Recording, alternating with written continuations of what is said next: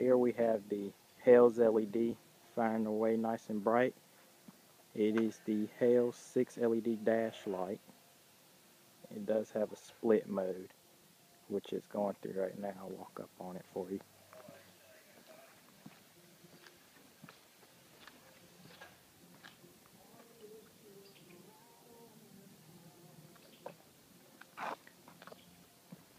This is to show the light off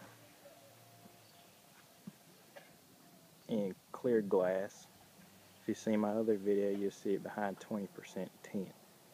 So, I'll show you the brightness and the intensity. I'll turn on the headlights for you.